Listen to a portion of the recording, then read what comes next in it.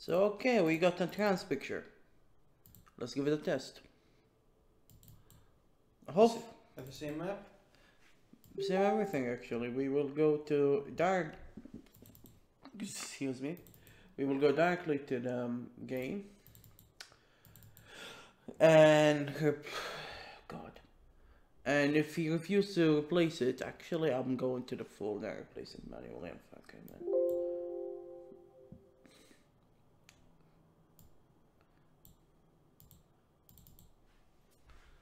If they are living in the folder, maybe if I add images in here, it won't need to uh, to make the compile. I don't know.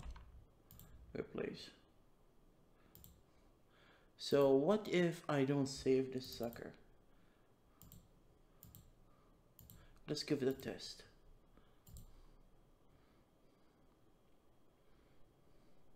Hmm. It works. Without compiling. It's You know a hundred times better. Do you know what does that mean? If we run it as an exe file, let's give it a test. Um, yeah, sorry, I closed it all of a sudden. Because the width of the image is smaller than the screen. Yeah, that's one of the my oldest image. When I before I have an HD monitor. So there you go, Artem. Yes, the the collision. Actually, I completely removed the collision on the walls, the code, so you can. Because it was crashing. Because I didn't finish the code apparently. Um, look at that. Yeah, This is silly. yeah. I need to work on that later on when I start really working on the game. All of this is a placeholder for the game itself. Um. So you can go left without jumping.